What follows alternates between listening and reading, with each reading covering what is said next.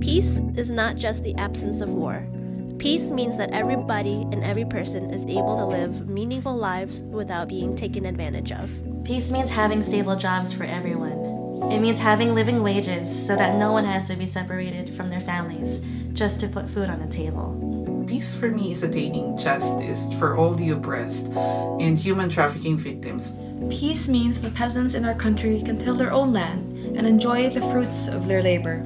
Peace is when children are able to live and develop their full potential. It is when everyone has access to education. It is a society where no child dies of hunger or sickness that can be cured.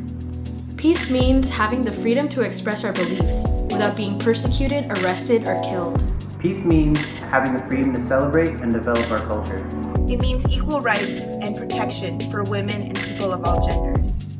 Peace means having respect for our indigenous people, national minorities, and their ancestral land. Peace also means protecting and nurturing our environment. It means sustainability. Peace means independence for our country, that our people benefit from our natural resources instead of our land and our people being sold and exploited by foreign powers. Peace means justice.